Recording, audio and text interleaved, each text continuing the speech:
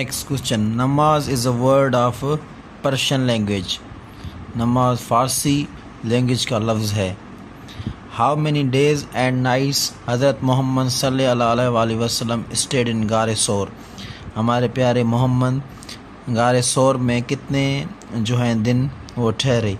तीन दिन और तीन रातें। इन वुच अजान एंड नमाज़ देर इज़ वेस्ट गेप वो कौन सी नमाज़ है?